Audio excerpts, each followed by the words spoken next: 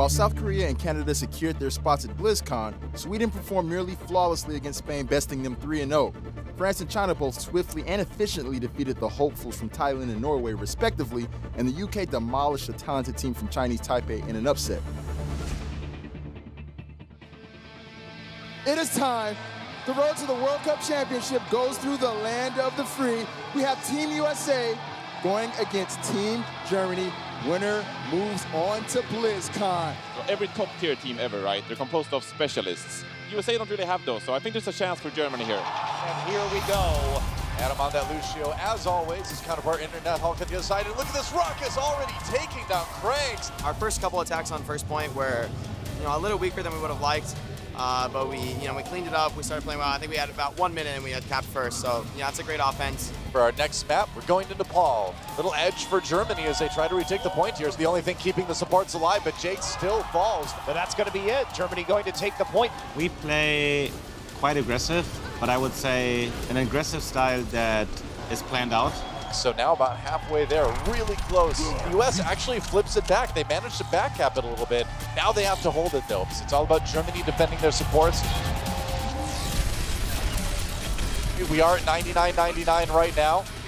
The U.S. winning this fight. This is their moment to try to take back the point. Can they get it through overtime? They can. The United States ties it up. That was very close, Doa. We are one match away from moving on to BlizzCon, but Germany's putting up a hell of a fight.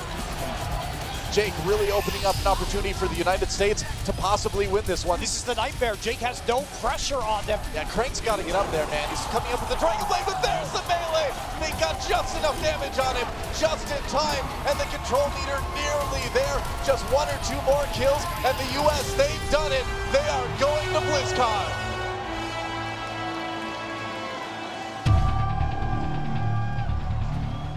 I think we have a few teams that could dethrone South Korea. I think Team USA is really bringing their game right now. South Korea? No, no, no way. No way at all.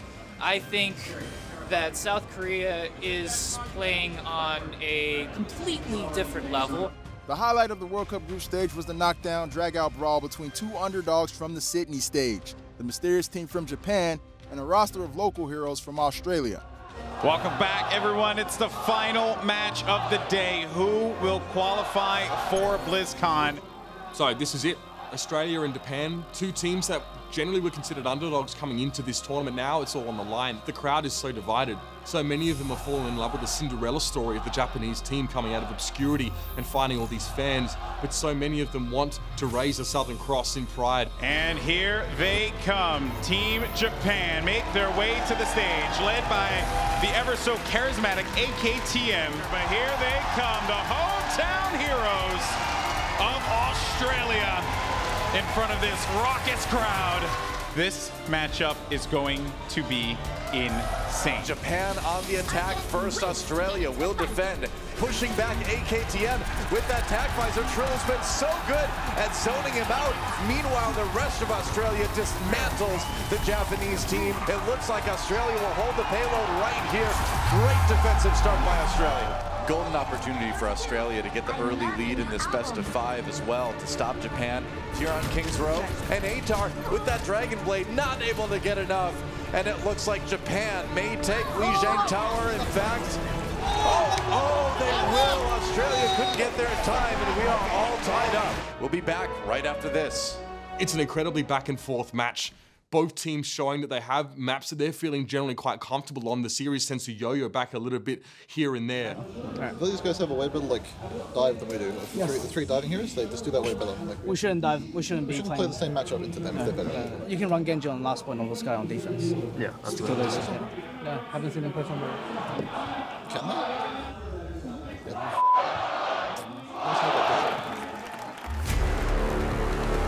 Trill gets a kill on Tayo. Oh, good start for Australia. There's another one. They are going to hold. You know, and it just feels like watching Japan, they've gotten inside their own heads. They're just really not playing like we've seen them play earlier in the week. That's it. Australia takes full sky and they put themselves one map away from making it to BlizzCon. Things get a little bit concerning on the map of Dorado. AKTM switches towards the McCree pick and really gives the Australian squad a lot of trouble in dealing with him.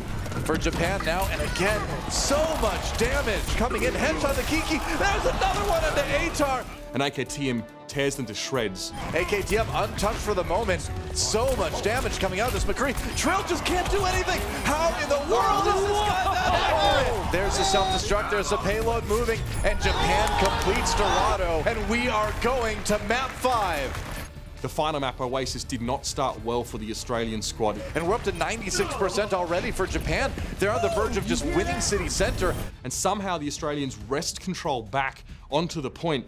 Australia coming back strong, and if they can win this, they can take the round. It's so close, we're into overtime now, and Japan's scrambling. Just Oh, a matter so of cleanup close. now for Australia. As long as they have that target focus, they should be able to take it, and they do. Australia comes out ahead. And then it seems as if their good luck continues because, again, in the second round on Oasis, it was 0 to 99% in favor of the Japanese squad. This would be a 1 1 series if the Japanese bring things back. This is Australia's opportunity. Trill takes down Yos. They've got to flip it back right here, right now. Trill gets the knockoff kill. Goodbye, AKTM.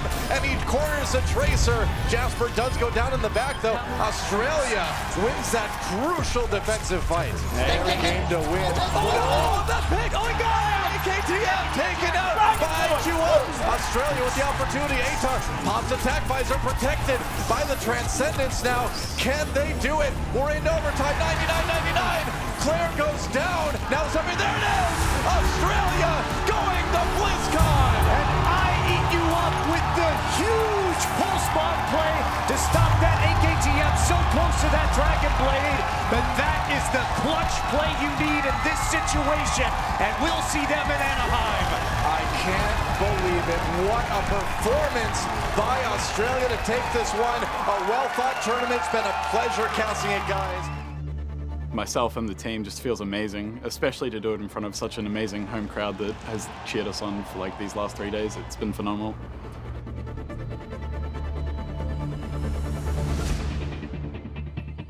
Thirty-two teams started this journey, only eight remain. Boom. China, France, Sweden, Australia, Canada, USA, and United Kingdom will join last year's champion, South Korea, in the 2017 Overwatch World Cup round of eight. Why do you think South Korea will become back-to-back champions? You are good. 我觉得这可能是我职业生涯最巅峰的时候了。 Everyone except South Korea, you should be scared. We want to play Korea, so that's going to be our main goal for the BlizzCon. Be able to qualify for BlizzCon is, is just an an amazing feeling. As teams battle to do their nations proud, only one nation will emerge victorious. Join us at BlizzCon as we determine who will be our 2017 Overwatch World Cup champions.